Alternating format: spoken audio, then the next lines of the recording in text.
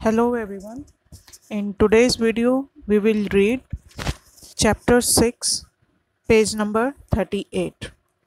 इससे पहले वाले पेज में हमने रीड किया था कि बच्चे डिसाइड करते हैं कि पहले ये तो सोचो कि हमें पार्क बनाने के लिए और बेस्ट पार्क बनाने के लिए सिटी में उसके लिए क्या करना होगा तो एक बच्चे ने बोला कि मैं बेंचेस मीन्स स्विंग्स चाहिए तो जिसके लिए यूज्ड टायर के लिए उसने प्रपोज़ल रखा था कि मैं यूज्ड टायर ले आऊँगा ताकि हम वहाँ पे स्विंग्स लगा सकें। तो इस टाइप से ही अब बच्चों ने आगे करना शुरू किया है। अब इस पेज में अब चाइल्ड टू कहता है I will bring some potted plants and more children join in the conversation we will plant flowers have a duck pond with fish and frogs we need water तो अब child two ने बोला I will bring some potted plants potted means जो गमले में उगाए होते हैं या छोटे छोटे प्लांट्स होते हैं जिसको आगे उगाना होता है, बड़ा बनाने के लिए, ज़मीन में लगाने के लिए मीन्स छोटे छोटे प्ला होते हैं, उनको ज़मीन में लगाओगे तो वो बड़े हो जाएँगे। ऐसे पोटेड प्लांट्स को मैं ले आऊँगा। तो उसको दूसरे बच्चों ने भी ज्वाइन किया, जो वो बात कर रहा था वी विल प्लांट फ्लावर्स कि हम पौधे, वो फूल उगाएँगे।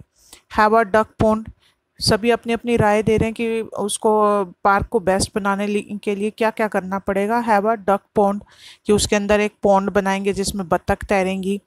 विद फ़िश एंड फ्रॉग्स उसके अंदर मछलियाँ भी होंगी, फ्रॉग्स भी होंगे। We need water. फिर एक कहता है कि हमें पानी की आवश्यकता है। अब आगे विकास कहता है फिर, Vikas raising his hand to get everybody's attention जैसे सभी को चुप करवा के ऐसे कहते हैं रुको रुको सुनो सुनो। इस टाइप से वो अपना हाथ ऊपर उठा के कहता है कि अटेंशन uh, पाने के लिए सभी की होल्ड इट होल्ड इट रुको रुको.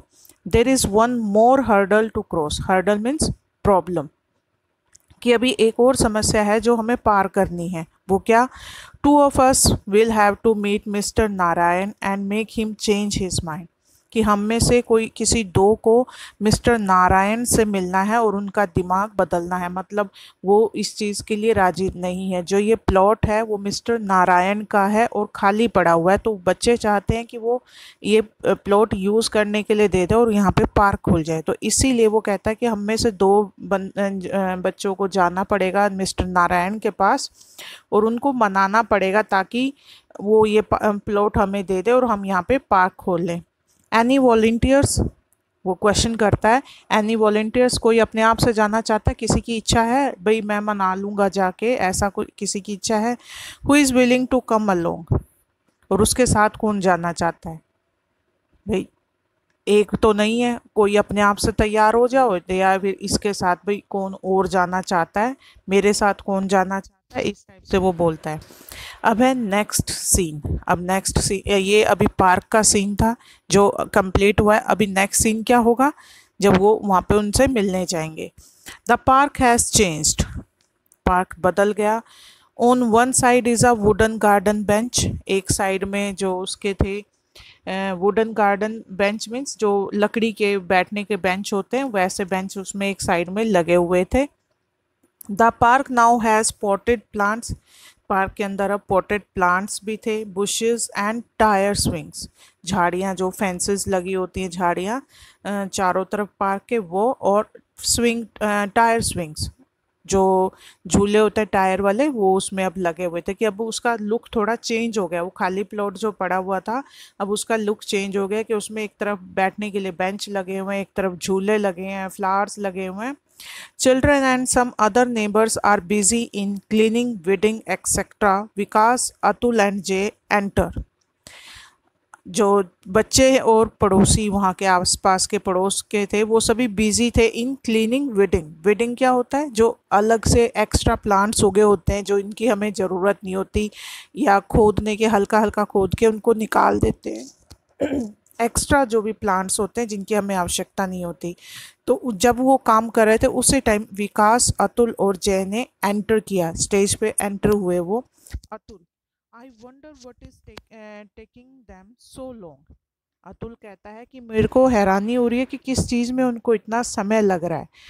Priya and Vikas have been going for more than two hours to meet mister Narayan at his office कि प्रिया और आकाश को लगभग दो घंटे हो चुके हैं, उन वो मिस्टर नारायण से मिलने गए हैं उनके ऑफ़िस में कि किस लिए उनको इतना समय लग रहा है, पता नहीं है, दो घंटे तो हो चुके हैं ऑलरेडी अब उसमें अमन कहता है, mister Narayan is a difficult person means बड़े ही टेढ़ी खीर है भाई, वो मानने वाले नहीं है, इतनी आसानी से बड़े ही सख्त मिजाज के इंसान हैं।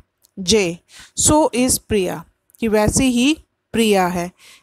Anyone can persuade mister Narayan to let us use in his plot as a park it is she कि अगर कोई भी परसूड मीन्स होता है मनाना, राज़ी करना। कि अगर कोई भी उनको मना सकता है, भाई, अपने प्लॉट को पार्क में चेंज करने के, करने दो तो वो सिर्फ़ प्रिया मना सकती है, उनको कि सर प्लीज़ अपना प्लॉट दे दो और हम यहाँ पे पार्क बनाएँगे। Atul she knows a lot about the environment and all that stuff कि उसको बहुत सारी चीज़ें एनवायरनमेंट के बारे में पति पता है और उसके बारे उससे संबंधित जितनी भी जानकारी है उसको काफ़ी कुछ उसके बारे में पता है। Priya and Vikas enter the park running Priya और विकास जो पार्क में भागते हुए एंटर हुए they plonk down on the bench वो धम से करके प्लोंक मीन्स एकदम धड़ाम से नीचे बैठते हैं ना जो, वो आराम से बैठ बेंच पर बैठ गए। Priya he didn't want to listen to us Priya कहती है कि वो हमारी बात को सुनना ही नहीं चाहते थे। He didn't have the time उनके पास समय नहीं था। Children gather around the bench बच्चे बेंच के चारों तरफ़ इकट्ठा हो गए। विकास अब विकास कहता है he said that time is money वो कहते हैं कि उन्होंने कहा कि समय ही धन है time is money so this is page number 38 next we, we will read page number 39